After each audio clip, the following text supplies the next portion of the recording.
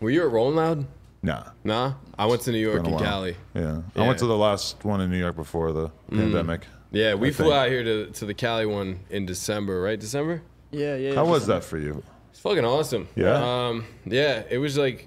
Oh, but not where we stayed.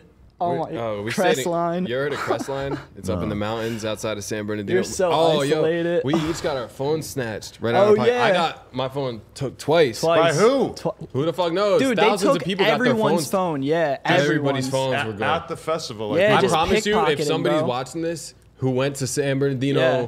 It was uh, because it was on the news, right? This is like a big operation. They were finding people in, with trunks open. Yeah, I have with phones, pictures of just thousands phones, Like, yeah. But wh- how'd you get it stolen? Out your hand while you're just standing there? So okay, so the first night, First I one had was you. First one was you. The first, First one was you. me because it's three days Rolling Loud.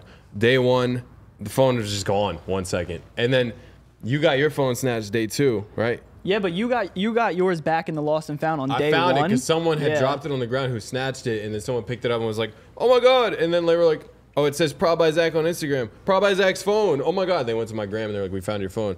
But um, so I got the back. Then day three, Tyla Yaweh. Yeah. I was at his set, turning up, crowd surfing. If you look at the Rolling Loud uh, like video and shit of Tyla's set, like I'm like crowd surfing, and there's a hand that goes into my pocket. Just takes that shit. And they're they're pros at this shit. Yeah, so, like, so good at like it. Like bro, it's like butter. It's just gone. what a bunch of broke bitches. That's what I'm saying. And then my find my iPhone, Jesus. so that shit went to China. Yeah, mine's in Florida. Yeah, mine went to China. His went to Florida. what? Yeah, and my they boy- sold that shit. Where did um what's his name? He went. His phone got taken in Nevada. Yeah, like Yeah. yeah, yeah most of Yeah, them one of our boys. Yeah, Wow.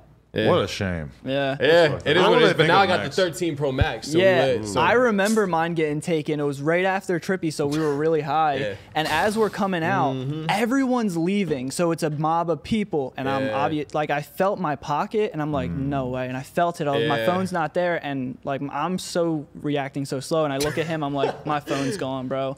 And Yeah. we stood in the lost and found like line for hours. It wasn't even there. Like, Yeah. oh, There's been a couple places I've been in my life, like for instance Spain and South Africa, That's where sick. they warn you so hard. Like you will, you they will get pickpocketed mm-hmm. here. So sketch. you know, wear pants that have a zipper, or or you know, t- mm. take you know, have these little weird belts that you Yeah. can put all your possessions in, so that people that's can't why I got steal this. I The- need to- the I need to Rolling get one I got this at Rolling Yeah, Loud because and they it's- you got- it. It's clear. He It's clear, yeah, yeah, yeah. yeah. That's smart though because everybody who got those little bags in LA, people assume it's a gun, Facts. so Yeah. they're not gonna Yeah. be able to assume Yeah. that you. That's pretty cool. Yeah. But but anyway, like yeah, like in those countries, like you just always have it in mind that you can Yeah. get your shit took. It's fucked up that you might Over have to here, it's apply like- that same logic to go on a mm. fucking Rolling Loud because And- people are such dirtbags. And the out crazy here. thing is, is like I got my phone snatched day one of Rolling Loud, and then day three comes, and I'm like walking around like like this the Yeah. whole fucking time, Oh, you know, yeah. like trying to make he sure wouldn't even nobody give it to me. He Yeah. thought they were gonna open my bag up and mm. take it out. I'm like, So bro, I, I and then I was like, fuck it, I'm not gonna spend Rolling Loud like fucking skitzing out about this shit. So I'm just like diving on the crowd, and that's Yeah. when somebody had snatched my shit, you know. Right. But like. I don't know. Someday I'm trying to play Rolling Loud. You know what I mean? Like I'm not trying to just be in the audience like only. You know? I think Facts, facts. I think if you've had a no jumper interview, they'll book you on Rolling Loud. Yeah. I I've been, I've been that's all commenting. it takes. I've Yeah. been commenting on Rolling Loud shit. Mm. I'm performing, and they're like, "Where?" Yeah, where? And I'm like, "Everywhere." Like, Everywhere. what you mean? Like I'm performing. I'm performing everywhere. You just you know the the founder Tariq.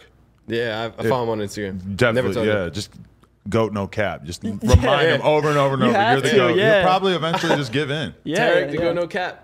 Yeah, you know what I'm saying? You already Like, know. Yeah, I don't know. You might, you might, it might work. I'm trying to pop out to the Miami one. You know. from your from your perspective as somebody who's going to Rolling Loud as a fan. Yeah. What was your overall like satisfaction level with it? Because I feel like I don't really get a real perspective on it because I'm kind of like backstage and shit, and I'm like, I, I wonder as a fan Mm. mean- how you how you enjoyed it. I mean, so I don't just look at it as a fan, but as someone who's played hundreds of shows. Right. So absolutely. like for me, I feel like I'm kind of in the middle between where you're at and a fan. Right. So like for me, I'm like, this is fucking lit, and I'm like, oh, that sound guy just fucked up, but that kind of adds to the aesthetic of this whole thing. Yeah.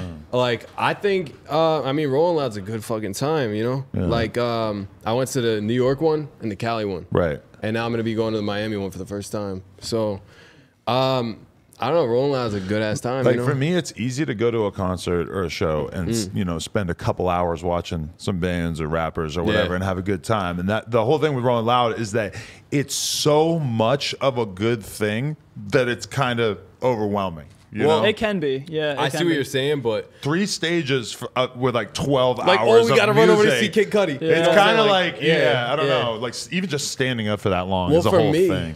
It's Well, refreshing you're high or drunk. You don't really feel. Oh, it. not for, not even just that. For me, it's like Rolling Loud is my new Warped Tour. I grew up going to Warp True, Tour, so true. for me, that was hot as fuck. And I went to Rolling Loud New York in December, or not December, October. and then December was Cali. So for me, it's like this is like a more comfortable Warped Tour. You know what I'm saying? So I feel like it's just all good vibes. You know what I'm saying? Like Right.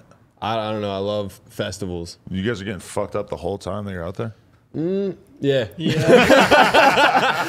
yeah. I was like, how should I answer this? That's always the thing in Rolling Loud too, though. Is at a certain point you're like watching like some Yeah. girls get dragged out, and Yeah. you're just like, oh fuck, Yeah, people really a girl are going almost hard. puked on dude. me. Yeah, Uh, Oh during- yeah. what set was that? Uh, I, was that Skies? No, it was- yeah, it was, it was Skies. Yeah, Lil Skies. She started. Yeah. Yeah, Uh, she's she's like she's like opening up the pit, and I'm like, let's fucking Yeah, go. I'm ready to metal. You know what I mean? I'm ready to open this shit up. Like, and then she's like, no, no. Her friend's like, no, no, no. She finna throw up any second. I'm like, oh shit. So I'm backing up, opening the pit up, what?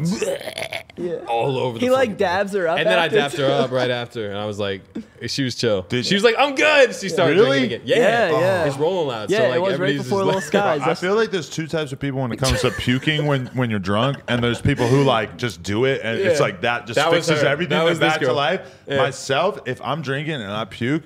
You're The night is over. Yeah, me too. The, re- the You a won't be large percentage of the next day is over. Like I ah. cannot function. I would go find a bench and curl up in a ball. I've never Yeah. thrown up from drinking. wow. Okay, guys, we want to thank you so, so much for getting us to 100,000 subscribers right here on the Clips channel. If you want to support, please click that subscribe button. We're trying to get to 200K. Thank you. Thank you so much.